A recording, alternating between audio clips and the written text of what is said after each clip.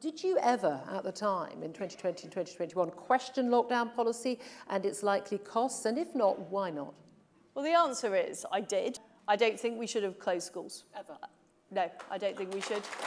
One of the most tragic things about lockdown was the damage done to our kids' education, and I think everyone in this room would agree that we never want to ever repeat that. Why don't we have a first world, first class health service, and what are you going to do to make that happen? Money can't be the only answer, right? We're conservatives. We don't just keep throwing money at the problem. That's just not going to work. We do need to be bold and radical in reforming it. So if we had a system which was tougher on people for missing appointments, and it's not about making money from them, it's about changing the culture, so that's unacceptable. Um, because if we do that and people cancel them in advance, what have we done?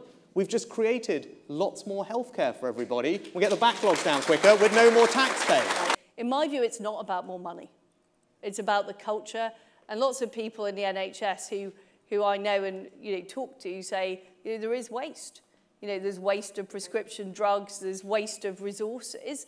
When did the Tory party stop being the party of law and order? What I would do is introduce league tables so it's much clearer how much time police forces are spending on the beat, how successful they are on dealing with crimes that affect people so that there is much better accountability and scrutiny. We talked about this wokish ideology and you know stop and search is a good example of a technique that works that police forces are not always using for, for reasons that are not right. What I'll tell everyone here is that I will never let political correctness stand in the way of keeping you and your family safe. That's the type of Prime Minister I will.